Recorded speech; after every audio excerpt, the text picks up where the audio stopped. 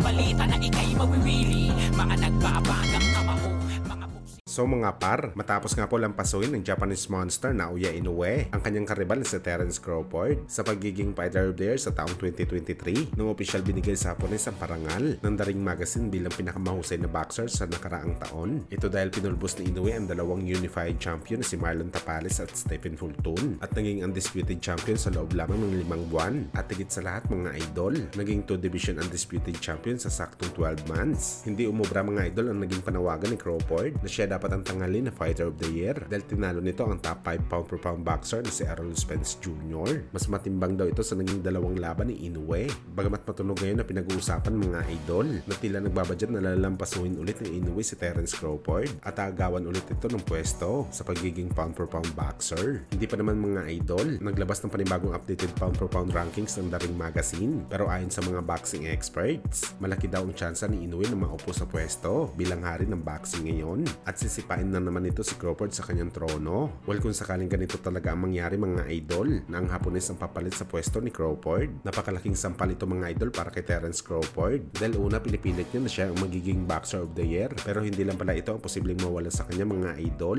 Dahil delikado din ang kanyang trono sa pound per pound. Na agawin din ni Inoue. Masakit ito mga idol sa part ni Crawford. Lalo pa naghabol ito ng makasungkit ng parangal. Dahil nga paubos na ang oras nito sa boxing sports. Dahil binabalak niya na magretero sa bakbakan. and Samantala speaking sa agawan ng award mga idol sa pagitan ni Inoue at Crawford, tila mukhang pati ang ating pambansang kamahong Manny Pacquiao at dating unified champion na si Errol Spence Jr. Nagbaragan o sagutan kung sino ba talaga kay Inoue at Crawford ang dapat makakuha ng parangal. Ayon lang naman kasi mga idol sa Twitter post ni Errol Spence, naniniwala siya na dapat ibigay kay Crawford ang pagiging fighter of the year sa taong 2023 dahil nga historic fight ang kanilang laban noong nakaraang taon. Pero sa naging interview naman po mga idol ni Pacman, wala daw siya iniisip na ibang boxer kundi si Inoue lamang ang karapat-dapat sa pound per pound best of the best boxer. At malamang mga idol kasama na ang tinutukoy dito ni Pacman na dapat lang talaga makuha ni Inoue ang Fighter of the Year sa taong 2023. Ito ay dahil sa consistent na magandang performance na pinakita niya sa bakbakan.